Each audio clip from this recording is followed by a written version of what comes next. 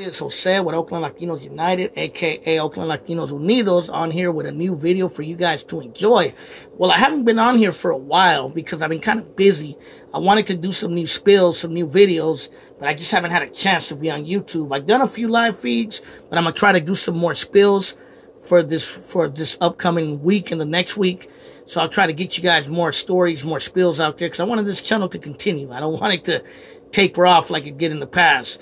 But anyway, the video that I'm going to make today is called The Railroads of Oakland. And there's a reason why I call it that. It was something that I was thinking about. I noticed it all my life growing up in Oakland and in the Bay Area. I was always surrounded by the, by the railroads, by the trains. Even now, still living in the East Bay, I live not too far from railroad tracks, and you could actually hear the train from time to time when I'm doing my live feeds. But, um, Growing up on East 7th Street when I was a kid and also living on Chapman Street, the railroads were right all around me. You know what I mean? There used to be the, the, the main line on uh, Fruitvale Ave, which back in the days it was the Southern Pacific, later it was the Union Pacific.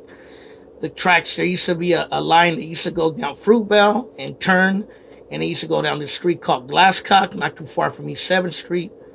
And, um, yeah, man, there was just, they were just always around me. You know, and I remember when we would go down to the bay, the waterfront, down at the end of Peterson Street by the Fruitvale Bridge, there used to be a bunch of warehouses there by the old SPCA, and they used to park boxcars there. And I remember we would play on them. We would climb on them and ride our bikes around them. You know what I mean? So the trains were always there. And um, the reason why there's so many railroad tracks and train tracks in Oakland is because if you know Oakland's history, Oakland used to be a factory town, a working man's town. There used to be a lot of warehouses, a lot of manufacturing jobs. There used to be military bases, you know what I mean, factories, all kinds of stuff there. And not only that, Oakland used to be the terminus of the railroad in the West Coast in Northern California. So all trains coming into the West Coast would end in Oakland. And if you were trying to get to San Francisco before the Bay Bridge was there, you had to cross on a ferry, and later on you'd cross it on the bridge. But Oakland was the terminus of the railroad in California, in Northern California, in the Bay Area. And, um, you know, Oakland has a big railroad yard in West Oakland. And, uh, one story, the first story I'm going to tell you is that my grandfather, I don't talk much about him, but my grandfather was a bracero, and that was a guest worker program that happened during World War II. The majority of braceros worked in the fields, but my grandfather was part of a, a, a bracero movement program that brought them to the railroads and to the shipyards. And he worked for the Southern Pacific Railroad in West Oakland.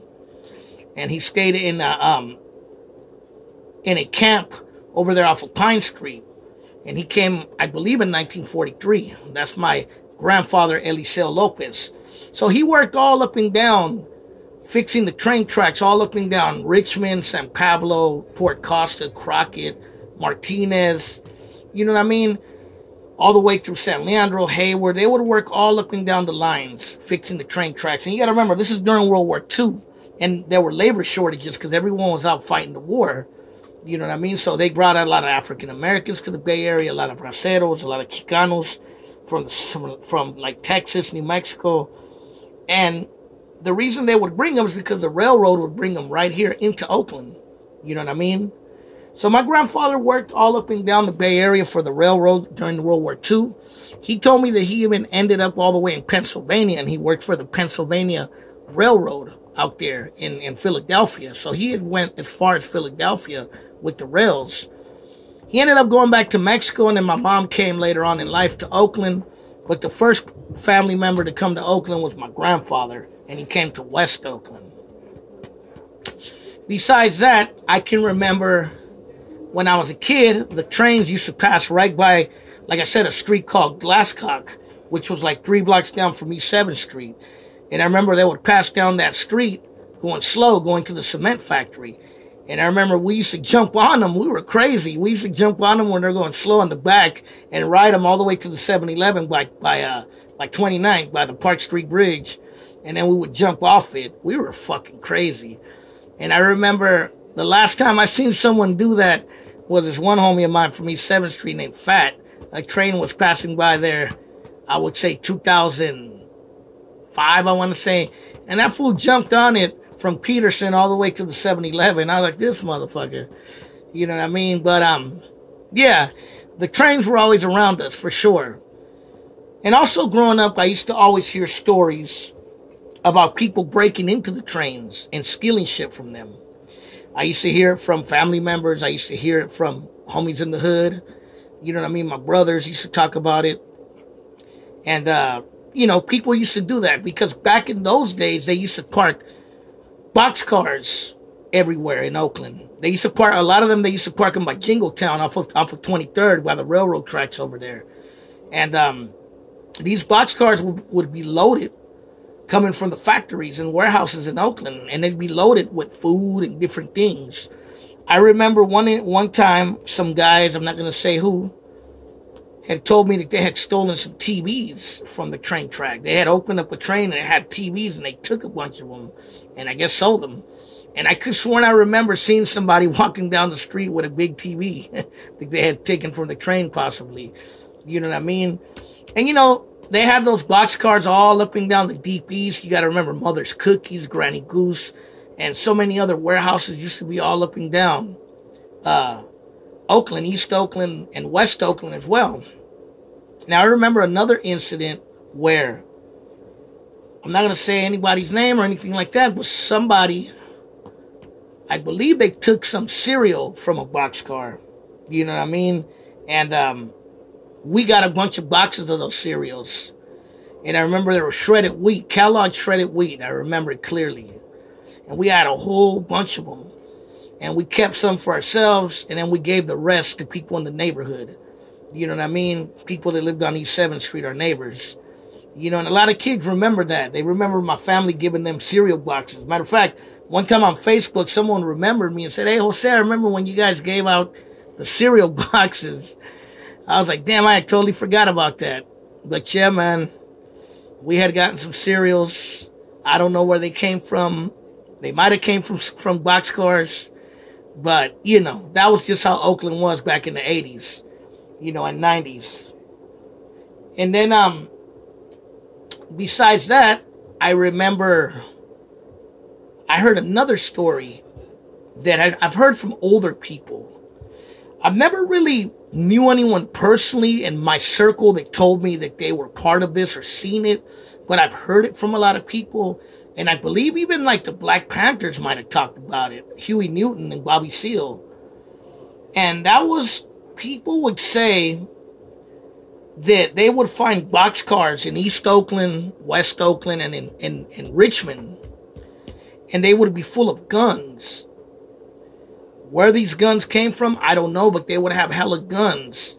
And people would come on the boxcars and steal the guns. And the conspiracy theory was that the, the guns were put there by the CIA or the FBI to neutralize groups like the Black Panthers, like the Chicano movement, the Brown Berets, the Chicano Revolutionary Party, and all the other movements that were going on at the time. Now, I've heard this story from a lot of people from Oakland and Richmond. Like I said, I've never met no one personally in my circle that actually seen the boxcars with guns. But I heard that story, and I'm sure a lot of you out there that are older probably heard these stories as well. Or maybe you've seen it for yourself. Leave it in the comments. But, um, yeah, I remember hearing about that. Like I said, there might be some truth to it. Who's to say it's not true? You know, we do know about COINTELPRO and we do know about the FBI and the CIA flooding the hoods with drugs to support wars in Central America. So you never know, man. And, um, yeah, man, that's just, you know, some of the adventures around the railroads that I had. Like I said, my life always seemed to be around the railroads. I've even traveled on the rail a lot. Just always had a fascination with trains. I don't know why.